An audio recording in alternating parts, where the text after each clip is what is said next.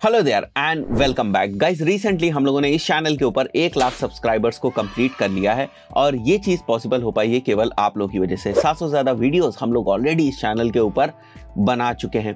इस डेढ़ साल की जर्नी में मैंने बहुत सारी चीज़ें सीखी हैं, मेरे बहुत सारे एक्सपीरियंसेस रहे तो आज के इस वीडियो में मैं आपको बताने वाला हूँ अपनी लर्निंग्स के बारे में आफ्टर हंड्रेड के subscribers so let's begin so आज मैं आप लोगों से लगभग छह ऐसी चीज़ें शेयर करने वाला हूँ जो इस जर्नी के दौरान मैंने सीखी हैं। सो so, जो पहली लर्निंग है वो ये है कि things are never 100 percent perfect आपको ना ऑप्टिमल यूटिलाइजेशन ऑफ़ रिसोर्सेज सीखना पड़ेगा। कहने का सीधा सा मतलब ये है कि आज जो भी रिसोर्सेज हमारे पास अवेलेबल हैं हम उनको परफेक्टली किस तरीके से यूज़ कर सकते हैं उसके बारे में हमें सीखना है।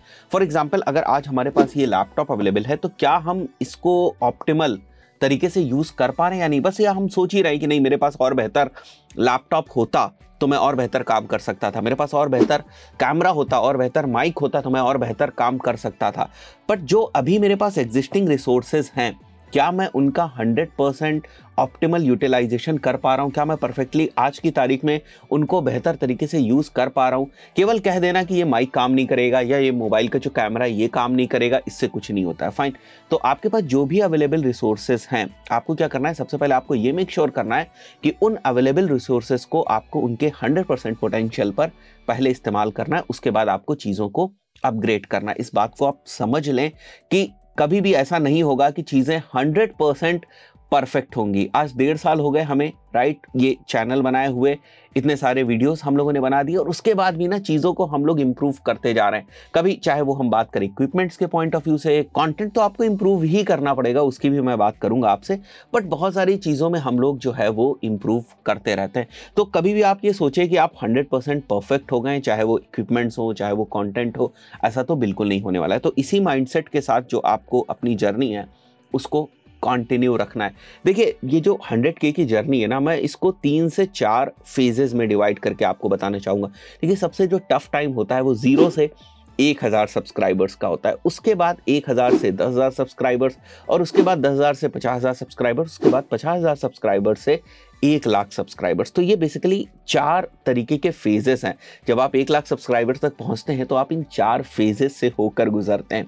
तो सबसे पहला फ़ेज़ सबसे टफ होता है, उसके बाद थोड़ी सी चीज़ें आसान हो जाती क्योंकि आपको चीज़ें समझ में आने लगती है, आपको एल्गोरिदम समझ में आने लगता है, आपको ये समझ में आने लगता है कौन सी चीज़ काम कर रही है, कौन सी चीज़ नहीं काम कर रही, किस टाइप का कंटेंट लोग पसंद कर रहे हैं।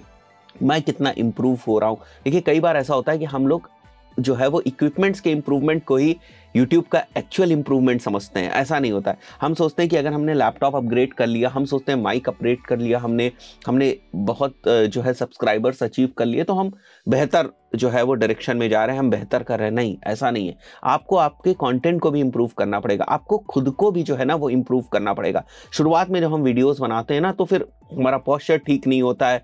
बट आप उसको देखें बार बार आप उसको देखें कि मैं कहाँ पर गलती कर रहा हूँ, मैं सेटिस्फाइड हो रहा हूँ या नहीं हो रहा हूँ। और उस चीज़ को अगले वीडियो में आप करेक्ट करने की कोशिश करें तो आज के भी टाइम में ऐसा नहीं होता है कि हम ये मान लें कि बस जैसे चल रहा है वैसे ही चलता रहेगा, जिस टाइप का हम कंटेंट बना रहे हैं, बस उसी टाइप का कंटेंट बनाते रहेंगे। हम कोई एक्सपेरिमेंट नहीं करेंगे तो ऐसा नहीं ये सारी चीज़ें भी आपको करते रहनी पड़ती। बट शुरुआत में ये चीज़ें उतनी ज़्यादा नहीं होती, क्योंकि आपके पास ना तो उतना ज़्यादा सब्सक्राइबर बेस होता है, ना ही आपको कोई फीडबैक देने वाला होता है वहाँ पर।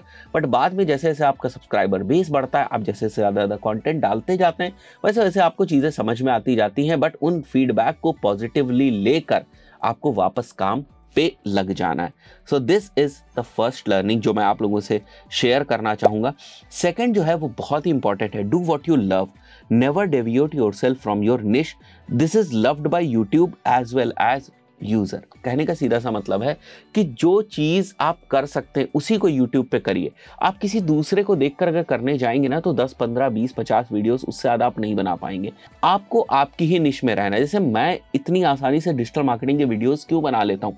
क्योंकि सुबह से शाम तक मैं यही काम करता हूँ राइट मैं क्लाइंट से बात करता हूँ मैं प्रोजेक्ट्स के ऊपर काम कर रहा होता हूँ मैं टीम हैंडलिंग में इन्वॉल्व रहता हूँ तो जो चीज़ें मैं करता हूँ वही सारी चीज़ें मैं आप लोगों से शेयर कर पाता हूँ। तो मेरे लिए डिजिटल मार्केटिंग का कंटेंट क्रिएट करना उतना मुश्किल नहीं है जितना किसी एक नए बंदे के लिए होगा, जो केवल ये सोच के डिजिटल मार्केटिंग से रिलेटेड वीडियोस को क्रिएट करने लगे कि हाँ भाई, इस फ़ील्ड में बहुत पोटेंशियल है या यहाँ पर जो है वो एडसेंस का रेवेन्यू ज़्यादा है, यहाँ से उनको प्रोजेक्ट्स मिल सकते हैं। तो इस टाइप से बहुत लंबी जो है वो गाड़ी नहीं चलने वाली है। तो आप हमेशा अपनी निश में रहें। जो मैंने सेकेंड पॉइंट लिखा हुआ है, एक तो यूज़र्स भी इस चीज़ को पसंद करते हैं। उस चीज़ को आप समझने की कोशिश करिए। फॉर एग्ज़ाम्पल मेरे चैनल के ऊपर 700 वीडियोस हैं। अगर इन 700 वीडियोस में से 400 वीडियोस डिजिटल मार्केटिंग के होते और 300 वीडियोस जनरल होते तो आप खुद सोचिए जो यूज़र मेरे चैनल पे आता, वो केवल उन 400 वीडियोस को ही कंज्यूम करता। अगर कोई डिजिटल मार्केटिंग का जो यूज़र है, वो आ रहा है डिजिटल मार्केटिंग का कंटेंट कंज्यूम करना चाह रहा है, वो 400 वीडियोस को कंज्यूम करता। बट जब वो बाकी के 300 देखता तो वो रिलेट नहीं कर पाता। बट अभी मैं उस यूज़र को क्या दे रहा हूँ? 700 वीडियोस का कंटेंट जो काफ़ी निश कंटेंट है। मतलब अगर कोई बंदा हमारे चैनल के ऊपर आता है और वो डिजिटल मार्केटिंग से रिलेटेड है तो वो एक वीडियो देख चला जाए, ऐसी पॉसिबिलिटी बहुत कम है। क्या होगा एक्चुअली कि वो एक वीडियो मेरा देखेगा, फिर वो दूसरा वीडियो मेरा देखेगा, फिर तीसरा वीडियो मेरा देखेगा, क्योंकि वो उससे रिलेट कर पाएगा। अदरवाइज़ मैं आज एक निश में वीडियो डालूं, कल मैं दूसरी निश का वीडियो डालूं, परसों मैं तीसरी निश का वीडियो डालूं तो हो सकता है कि उनमें से कोई एक वीडियो वायरल हो जाए। But over the period of time लंबे समय तक मैं किसी एक यूज़र को अपने डिफरेंट डिफरेंट वीडियोस की जो चेन है ना उसमें ट्रैवल नहीं करा पाऊँगा। आई बिलीव आप बात समझ रहे होंगे। फाइन इसी तरीके से फॉर एग्ज़ाम्पल कोई बंदा आपके चैनल का एक वीडियो देखता है। तो उस बंदे को आपके ही चैनल का दूसरा वीडियो भी रिकमेंड हो सकता है। यूट्यूब का एल्गोरिदम इसी तरीके से काम करता है। तो अगर उस बंदे को आप ही के चैनल का दूसरा वीडियो रिकमेंड होगा तो अगर वो उसकी निश के रिलेवेंट नहीं होगा या जिस टाइप का वीडियो उसने पहले देखा है, उस टाइप का वो वीडियो नहीं होगा तो क्या होगा कि चांसेस हैं कि वो दूसरा वाला रिकमेंडेड जो वीडियो है, वो ना देखे। तो आपको मेक श्योर sure करना है कि आपको अपनी निश में रहना है। अदरवाइज़ ऐसे तो बहुत सारे वीडियोस हैं।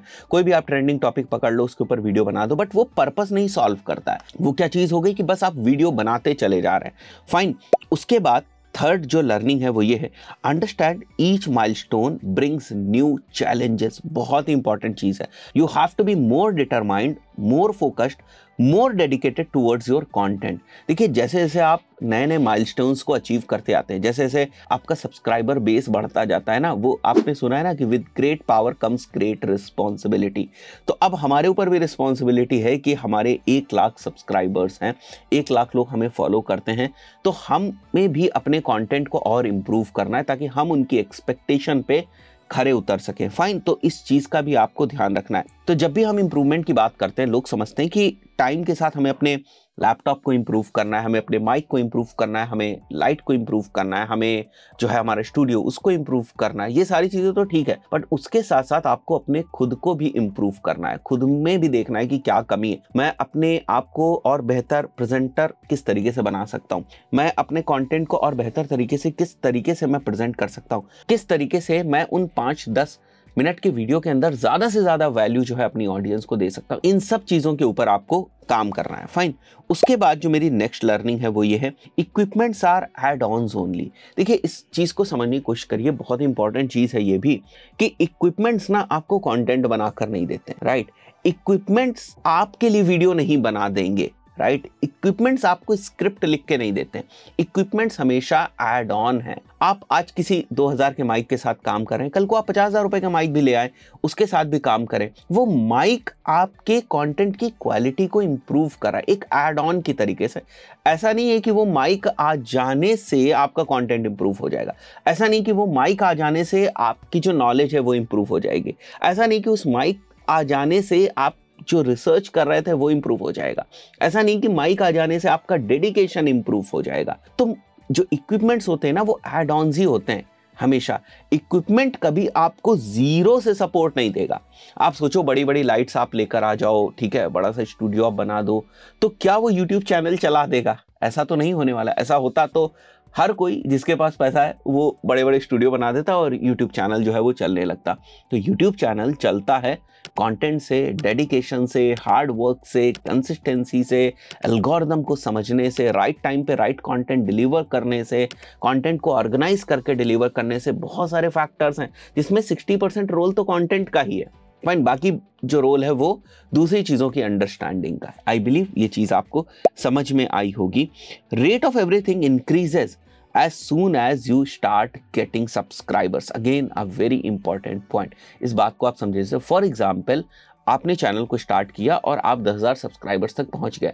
उस दौरान अगर आपका रेट जो था सब्सक्राइबर्स के इंक्रीज होने का पर डे के हिसाब से फॉर एग्जांपल आप 100 सब्सक्राइबर्स इंक्रीज कर रहे थे पर डे के हिसाब से। तो जब वहीं पर आप पचास हज़ार सब्सक्राइबर के बेस पे पहुँच जाएँगे या एक लाख सब्सक्राइबर्स के बेस पे पहुँच जाएँगे तो वही जो आपका एवरेज रेट था पर डे के सब्सक्राइबर्स इंक्रीज होने का, वो सौ से तीन सौ हो जाएगा, चार सौ हो जाएगा।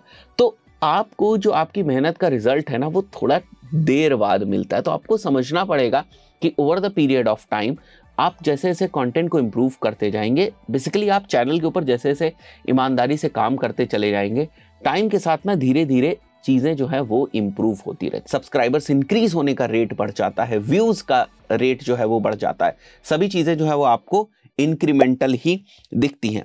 सिक्स पॉइंट भी बहुत ही ज़्यादा इंपॉर्टेंट है, वो ये है। फॉर एग्ज़ाम्पल ये मान के चलते हैं, एक पर्सन है जिसको अपने कंटेंट के ऊपर ज़बरदस्त कमांड है। जैसे कोई मैथ्स टीचर उसको अपने सब्जेक्ट के ऊपर कमांड है, उसे पता है चीज़ें। राइट? उसे सारी चीज़ें पता है। उसे इन डेप्थ अपने सब्जेक्ट के बारे में पता है बट उसे यूट्यूब एल्गोरिदम के बारे में नहीं पता, उसे थंबनेल के बारे में नहीं पता। उसे पता नहीं कि एक्चुअली यूट्यूब के ऊपर मुझे कॉन्टेंट किस तरीके का डालना चाहिए। कई बार आपने देखा होगा कि बहुत ही ना डिटेल्ड कॉन्टेंट कोई होता है, बहुत ही निश कंटेंट होता है, बहुत ही डिटेल्ड कंटेंट होता है, और वो कंटेंट बहुत ही पावरफुल कंटेंट होता है बट उसको व्यूज़ नहीं मिलते। तो आपको ये भी समझना पड़ेगा कि व्यूज़ लाने के लिए ना थोड़ा सा आपको जो डेप्थ ऑफ़ द कंटेंट है ना उसको तो मेंटेन रखना ही है। बट उसके साथ साथ थोड़ा सा आपको थंबनेल के साथ उसको रिलेट करना आना चाहिए। थोड़ा सा आपको उसको ऑडियंस के साथ रिलेट करना आना चाहिए।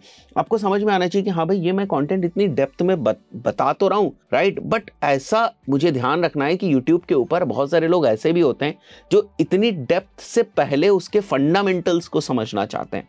तो आप उसके फंडामेंटल्स पहले क्लियर करें।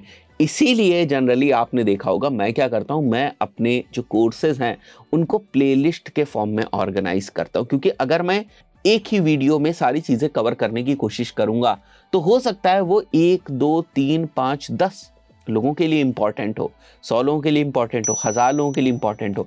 बट कलेक्टिवली अगर आप देखो, जैसे फॉर एग्ज़ाम्पल मैं गूगल एड्स का कोर्स बना रहा हूँ। तो अगर मैं गूगल एड्स का कोर्स बनाता हूँ तो मैं वहाँ से शुरुआत करता हूँ व्हाट इज़ गूगल एड्स और उसके बाद चीज़ें आगे जाती तो हो सकता है कुछ ऑडियंस केवल सर्च एड्स में इंटरेस्टेड हो। तो ठीक है, वो सर्च एड्स वाला वीडियो देख लेंगे बट कुछ ऑडियंस ऐसी भी है जो व्हाट इज़ गूगल एड्स को समझना चाहती तो उसके लिए भी तो वीडियो होना चाहिए।